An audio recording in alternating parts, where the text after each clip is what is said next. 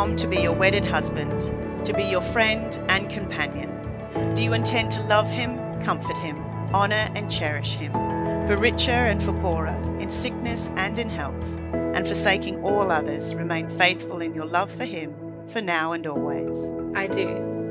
Thank you. I do. Tom and Telea, before your friends and family, you have joined yourselves together in marriage, and I can now pronounce you to be husband and wife.